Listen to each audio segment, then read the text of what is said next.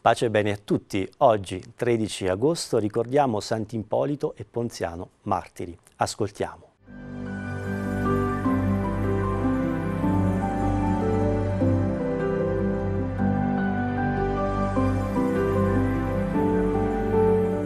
La vita di Ippolito è drammaticamente legata a un altro santo martire, Ponziano. Quest'ultimo sedeva sul soglio di Pietro, essendo succeduto a Urbano nel 230, mentre la comunità cristiana godeva di un periodo di relativa tranquillità. Era imperatore Alessandro Severo. La Chiesa viveva con gioia la ritrovata pace, quando un coltissimo prete, Ippolito, dalla morale molto dura, cominciò ad accusare Papa Ponziano di troppa indulgenza, di troppa tolleranza. E un giorno alle accuse fece succedere un'aperta ribellione, che pur essendo ispirata da zelo eccessivo, lo proclamava antipapa, pesando nel cuore della cristianità.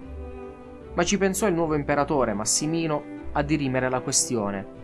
Per lui papa e antipapa erano ambedue nemici dell'impero, ed esiliò entrambi nelle miniere di Sardegna.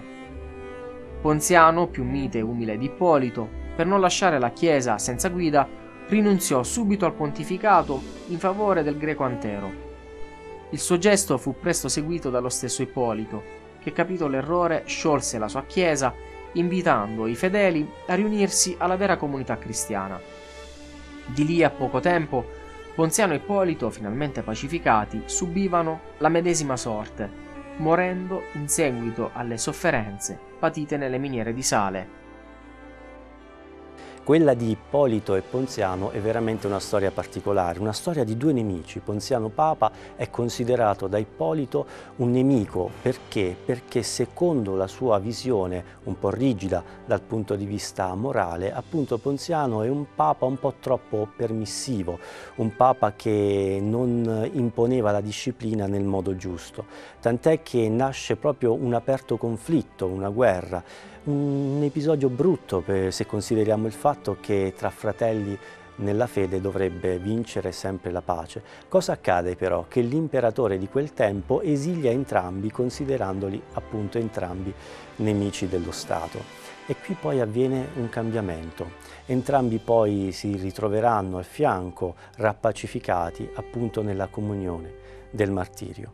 Cosa ci insegna questa storia? Che a volte anche noi siamo veramente portati a mettere in piedi grandi conflitti considerando un'altra persona come nemica e poi in realtà tutto quando poi vediamo le questioni con un po' di distanza, diventa veramente piccolo e tutti quanti riusciamo a ritrovare quello che è il centro, quello che è Gesù Cristo, che ci vuole sempre rappacificati, comunque sempre lontani da quelle emozioni che sono quelle della rabbia e dell'odio che ci fanno prendere le scelte sbagliate. Appunto ci ispirino questi due santi a risolvere i conflitti che stiamo vivendo in questo momento. Perché? Perché i conflitti ci logorano e logorano gli altri. Allora ci affidiamo alla loro potentissima intercessione.